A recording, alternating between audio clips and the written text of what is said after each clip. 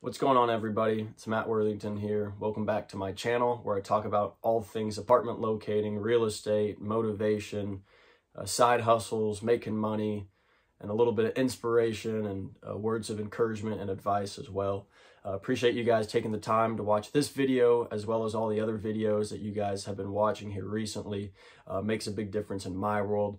Uh, so if you do like this, the content I'm putting out, uh, please don't hesitate to mention that in the comments. It helps me get a better idea of what you guys do like, don't like, what I can do better on, uh, what I can do less of, and um, all that is is really uh, great advice and insight. So thank you in advance for that. but in this video, I'm going to talk about apartment locating and how to get leads. So obviously, getting your license is no small task. It is daunting, it's a long process, and it can be difficult. But even more daunting is figuring out how you're going to make money after you get your license. I think that's something that all of us real estate agents can agree with. Um, relating to apartment locating, one of the easiest ways to get started and get in the industry and get leads is by working for an apartment locating specific company. So in Austin, you have apartment experts, you have apartment pros, um, you have Smart City Locating. Uh, those are some great companies that you can go to, learn from, and they will hand you leads. And that's a great way to get introduced to the industry. And I definitely recommend going down that path. However, if you're deciding to go with Keller Williams, Coldwell Banker, or a smaller boutique real estate brokerage, then they might not be feeding you leads like some of these apartment specific companies are. So assuming that that's why you're on here watching the video, uh, because you're working for a boutique company, or just because you want to try to get leads on your own and start building your own portfolio, um, then this video is for you. So uh, pay attention. I'm going to uh, list out about six or seven different ways to get leads, and hopefully some of it is helpful to you. If it is, all I ask is that you uh, comment down below saying thank you, uh, the video was great, um, like, subscribe, and turn on that bell notification. So uh, without further ado, let's get into it. So the first thing I have listed here, and this might be something that you don't do right away, but I definitely feel like it's important, is building out a website. Um, if you need somebody to build you out a website, you can uh, ask me to do that. Uh, I, I have a, a, friend that I can refer to you. Her name is Alexi. Uh, she has her own marketing company and she's building out my website right now. Uh, it's not uh, super expensive, um, but the beauty of having it is whenever you have one lead from your website close, it pays off the uh, fee for the website completely. And the reason why having a website is important is because if someone goes on Google and they look up apartment locator Austin, apartment locator uh, Tampa Bay, Florida, apartment locator Denver, Colorado, your name is going to pop up on that list, assuming that you have uh, a website, you have good reviews, uh, so on and so forth. So with that said, the best thing that you can do is build out the website and then connect it to a Google My Business. So uh, there's videos out there on YouTube that talk about Google My Business. I'm not going to get into it too much, but uh, basically, in order to be found on Google, you need to set up a Google My Business. And what that in, uh, entails is basically putting in the address that you're currently at. Google will send you a piece of mail that has a code on it, and that code you um, uh, you link it to the Google My Business uh, online. And then you have your own Google My Business store, Google My Business site live and ready to go, which you then connect to your website. And then from there, uh, it's all about getting traction and making sure that your name is big enough to where people see you're apartment locating company and they want to click on your page um, rather than the others because you have more reviews.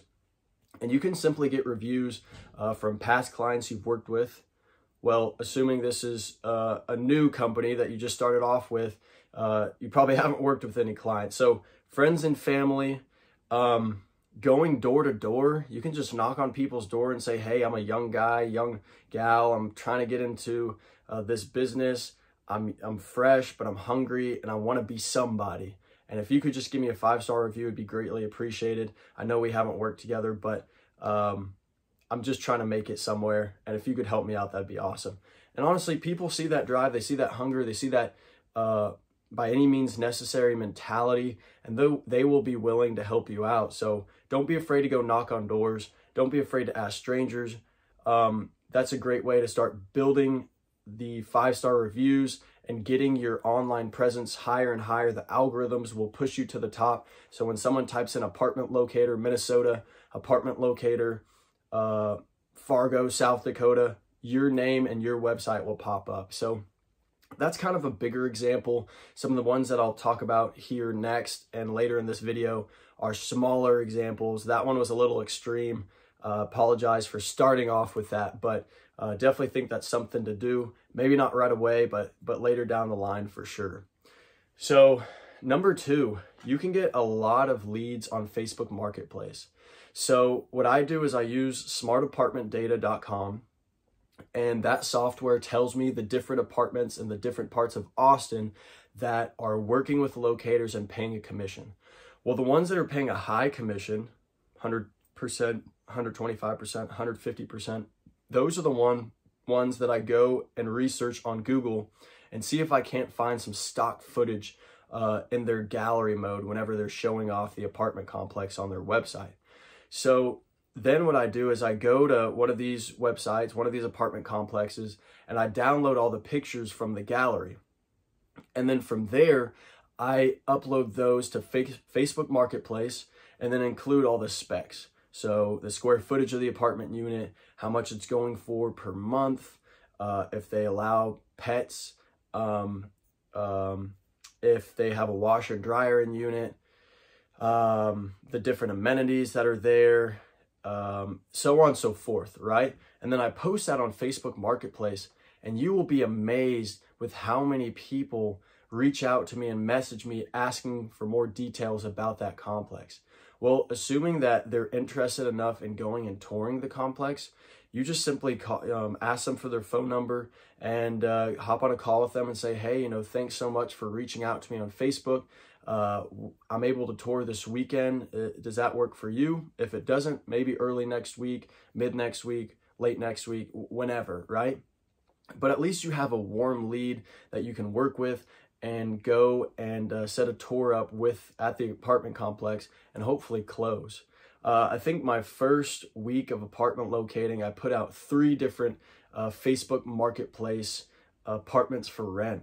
And I got over 75 leads. People were in my DMs nonstop. It was overwhelming, to be honest.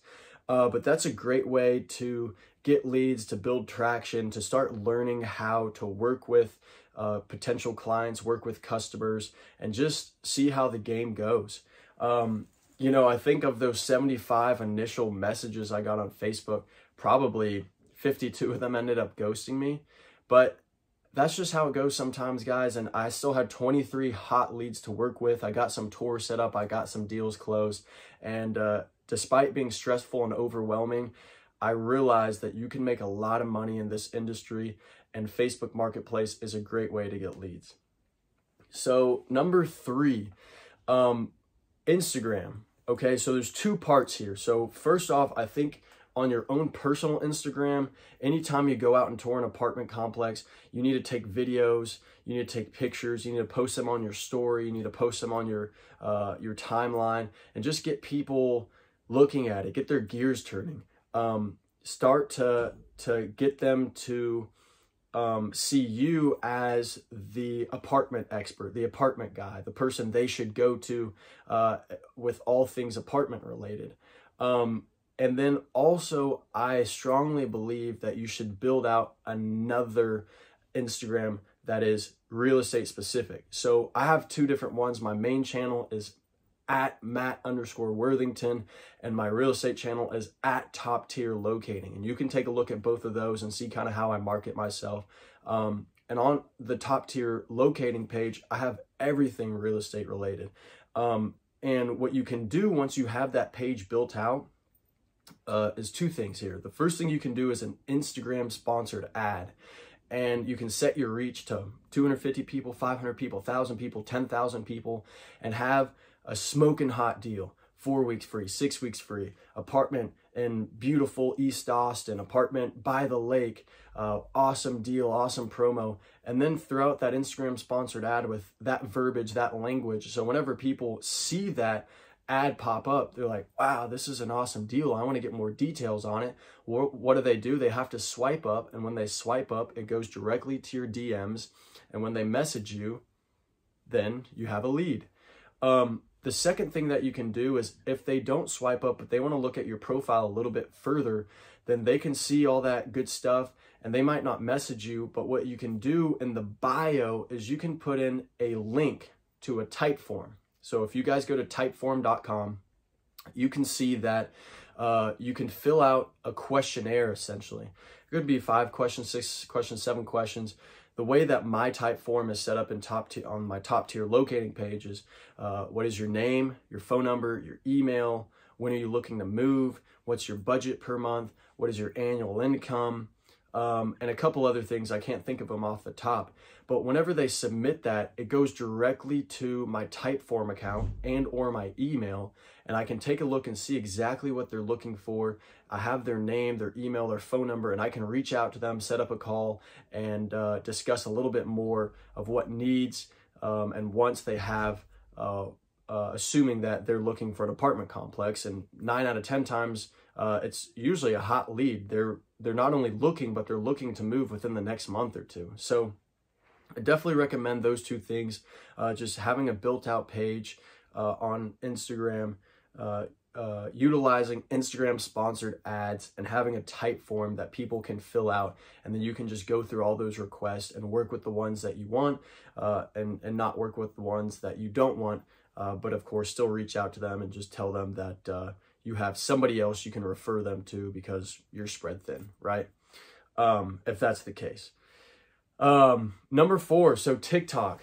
Uh, TikTok has been huge for me here as of recently. We have a top tier locating TikTok page. Again, Lexi, my marketing, um, uh, my marketing director, she's the one that oversees all the TikTok stuff. And man, she does such a good job. We have some videos that have over a hundred thousand views and we get TikTok leads out the wazoo.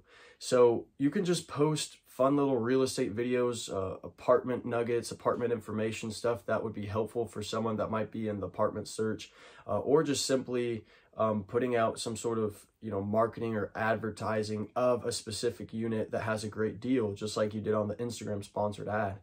And the best thing to do is pair your TikTok with your Instagram. And so whenever they go on your page, and look at that TikTok and the rest of the stuff and content that you have, they can go directly to your Instagram, which again leads you to the Typeform, and that Typeform leads directly to your email so that you can reach out to these leads. So they're all kind of linked and intertwined together, and that's definitely been a great way to build traction, at least for me, and help me get leads. So TikTok's awesome. Number five, this is kind of a given, but I think it is important to leverage your friends and family. Reach out to everybody. Um, you know, the one thing about buying a house is not everybody can buy a house because it's expensive, right? But everybody has to live somewhere. So it's an apartment. The next best place to live in is apartment. And if they're going to live in an, in an apartment, they might as well use you to help them find an apartment. So definitely just be in your friends and family's ear, send them emails, texts, call them, keep following up, letting them know that you are uh, there to help them. You're an apartment locator, and uh, any sort of needs that they have when it comes to uh, moving out, you can certainly help them with and address those issues, concerns, questions, um, so on and so forth. So, friends and family is number five. Number six, ask for referrals. So, anybody that you've already helped, um, and this is, you know, a little later down the line. Ask all these people if uh, they don't mind referring you off to their friends and family. Um, if you treat a client well, nine out of 10 times they'll be more than happy to help you out. They'll be more than happy to send you their friends' names that are looking for places. And that is just an awesome way to continue getting leads is uh, referral based and word of mouth. So that's definitely a big one there too. And then uh, the last one i had is follow-ups. So anybody that you've helped move into a spot already they are either going to continue to live there for a couple years or after a year after their 12 months is up after their lease is up they need to go somewhere else so it's really important to follow up with all your clients that you've previously helped moving into spots and ask them if they need help finding another spot. And a lot of times they'll be tickled to use your services because you helped them find a spot the most recent time and the process was smooth and you were helpful, attentive, responsive, respectful, and just simply fun. You know, they had a good time working with you. So the follow up is huge. Definitely try to follow up with all your clients that you helped move into a spot about nine or 10 months into their lease.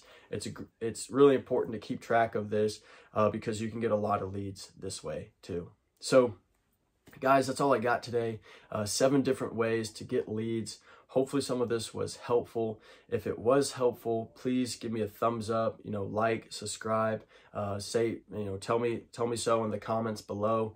Um, but, uh, I'm kind of running out of different um, video ideas to, to put together. So if you guys have something that you would like me to talk about, something that would help you guys in your apartment locating journey, uh, don't hesitate to uh, reach out. My phone number is 512-584-7225. You guys can call me, text me anytime. Uh, you can DM me on Instagram at Matt underscore Worthington. Uh, give me a follow um, on my real estate page. It's at Top Tier Locating. And I just started a podcast. So if you guys want to listen to any of the podcast episodes, uh, the podcast um, Instagram is at riser.podcast.